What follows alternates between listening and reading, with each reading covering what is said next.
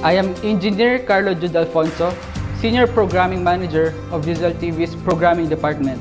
I am responsible for managing the front end and the back end of our Vuuzle TV program, as well as monitoring the analytics of our apps on different devices such as Android and iOS, Apple TV, STB, Roku, Amazon, and LG TV.